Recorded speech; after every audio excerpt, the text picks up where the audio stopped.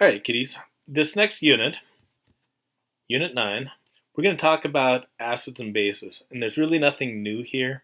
Um, some mathematical manipulation of things we've already learned.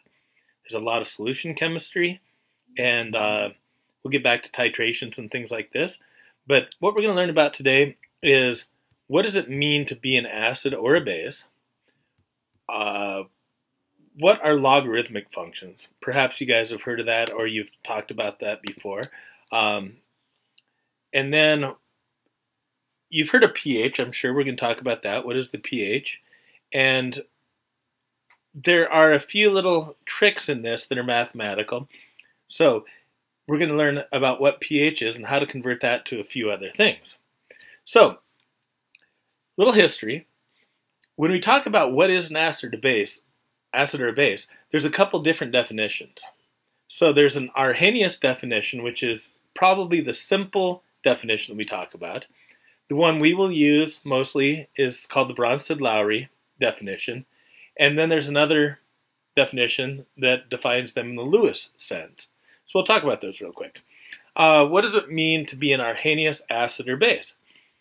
What that says is that acids produce hydrogen ions. So any soluble salt that produces hydrogen ions, because we know salts dissociate when they go into solution, and you'll notice that it says in aqueous solution. So all acids are aqueous. We've mentioned that before. Anything that produces these hydrogen ions is going to be an acid. So like HCl, I put it in water, it breaks apart, I get H and Cl. HNO3, nitric acid. I put that in water, I get hydrogens and the nitrate ion. So anything that produces those hydrogen ions is an acid. The next thing is a base. A base is simply something that produces hydroxide ions. So anything that has an OH ion, OH minus, like sodium hydroxide, potassium hydroxide, as long as it's a soluble solid of hydroxide, it's going to produce hydroxide ions in the solution because the water is going to dissociate those. So in my example down here, I'm showing that Sodium hydroxide dissolves to form sodium and hydroxide. Hydrogen chloride would dissociate to form hydrogen and chlorine in a solution, then it becomes hydrochloric acid. This is probably the simplest definition. So when I think about the really like in my head, when I think about an acid, I think about hydrogen ions floating around. And when I think about a base, I think about hydroxide ions floating around. So what happens if you take an acid with hydrogen ions and a base with hydroxide ions and put them together? What would you get? And of course, hydrogen and hydroxide would form water. So they're kind of opposites of one another. But that's kind of the simple definition of the acid and the base. Hydrogen ions, hydroxide ions.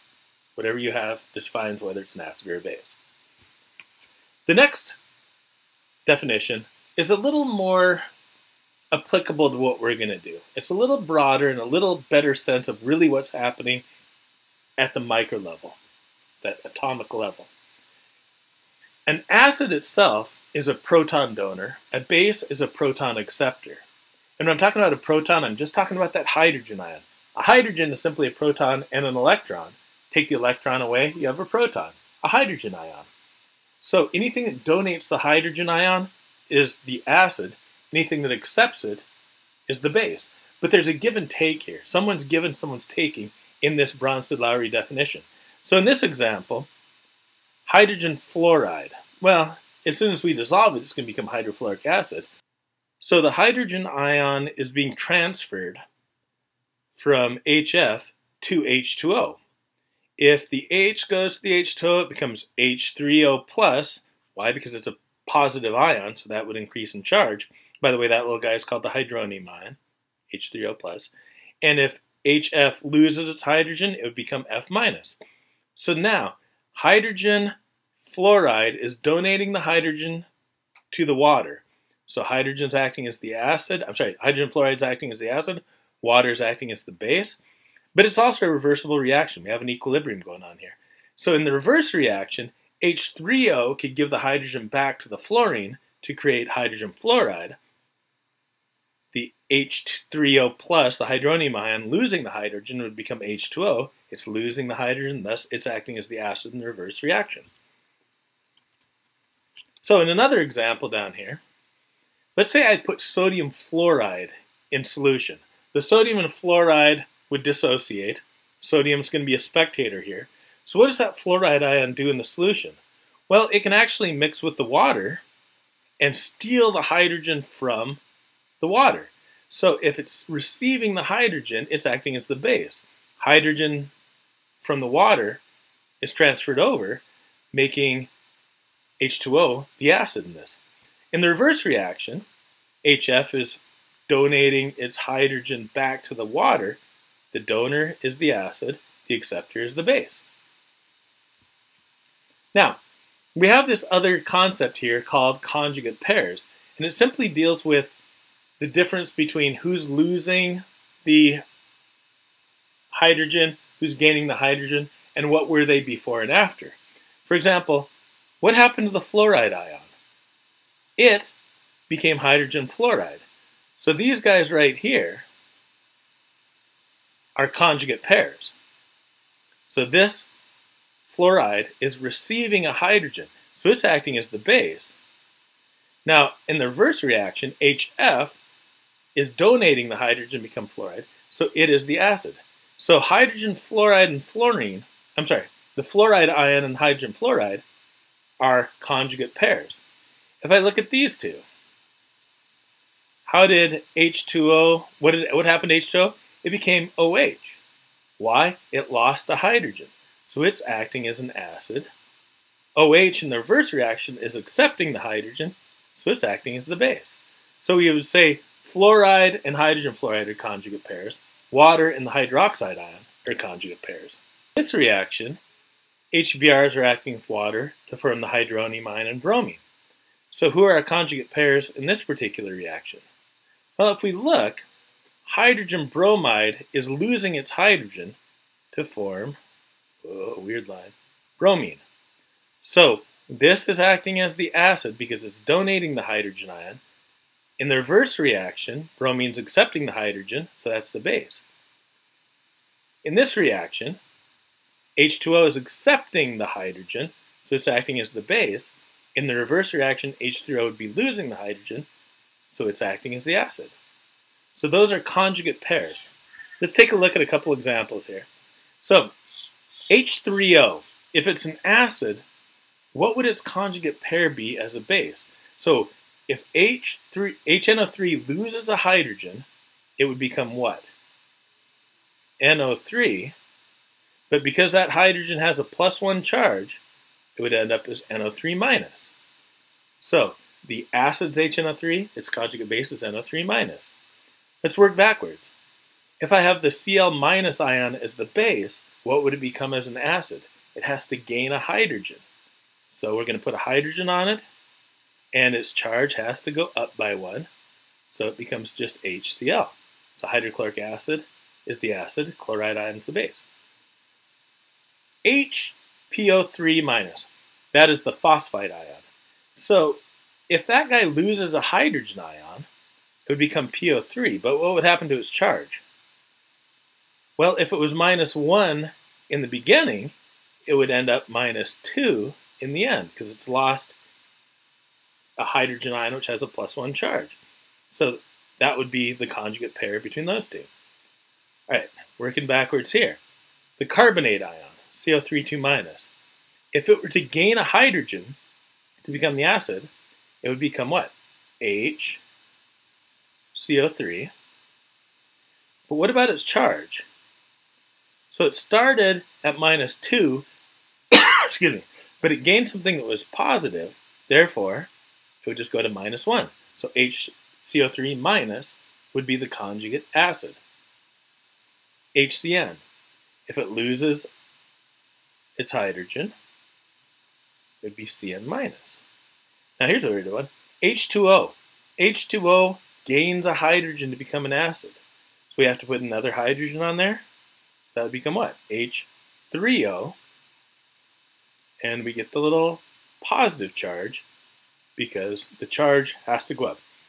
So you'll notice the acid's charge is always one greater than the base's charge in these conjugate pairs. Right? The acid has one more hydrogen than the base. By the way, this little guy water, you'll notice it can actually gain a hydrogen ion to become the hydronium ion, or it could lose a hydrogen to become the hydroxide ion. We say that water, like a few other substances, are amphoteric.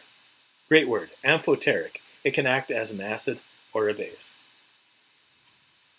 All right, the last definition is a Lewis acid or base, and it's based on electron pairs. Acids are something that can accept an electron pair. Bases are something that donate an electron pair.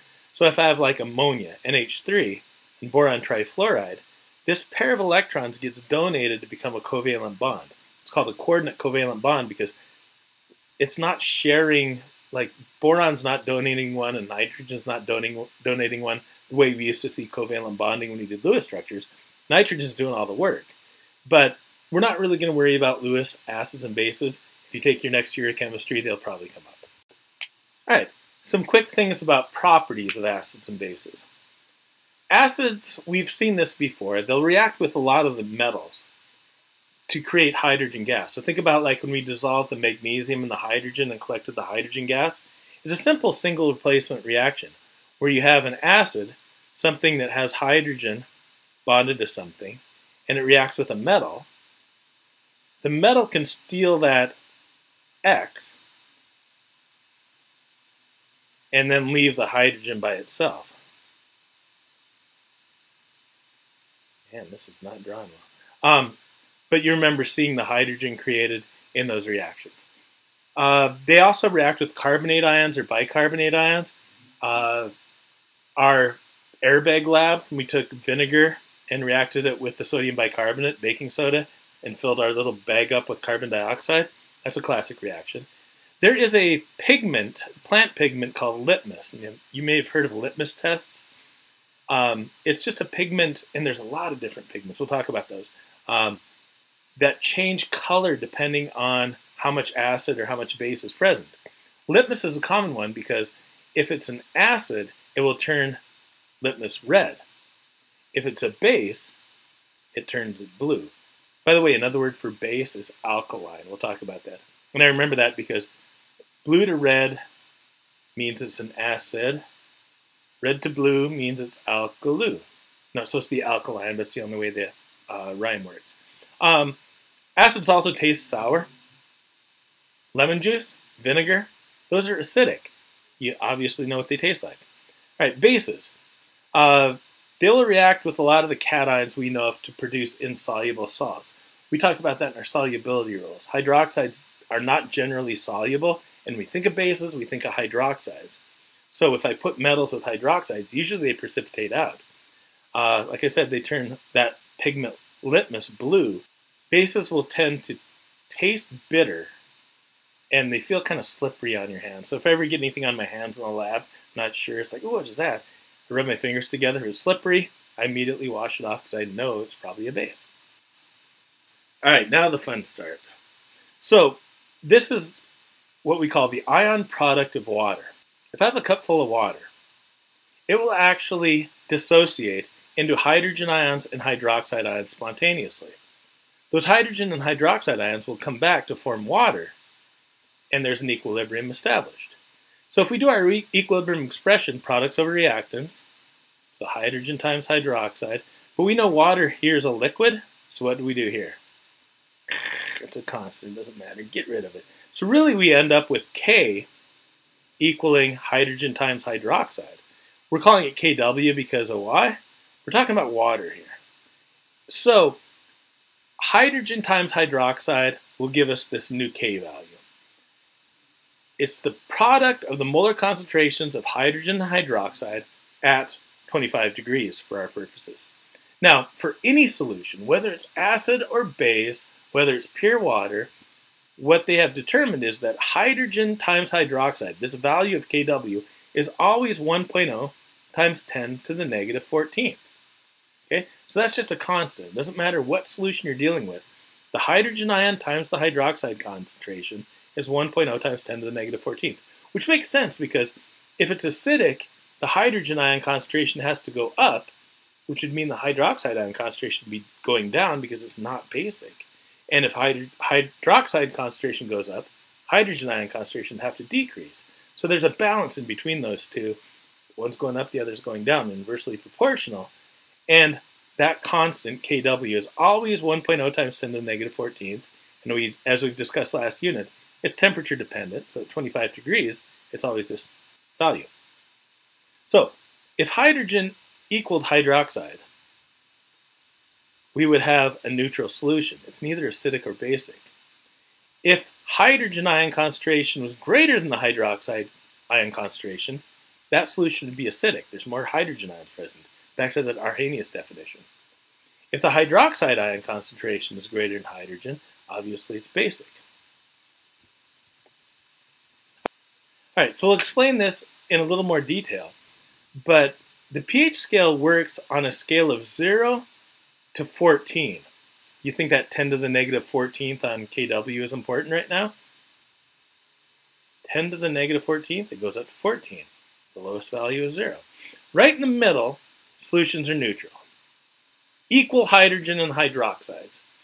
As we approach a higher hydroxide ion concentration, then it becomes more and more basic. So our hydroxide ion concentration increases in this direction.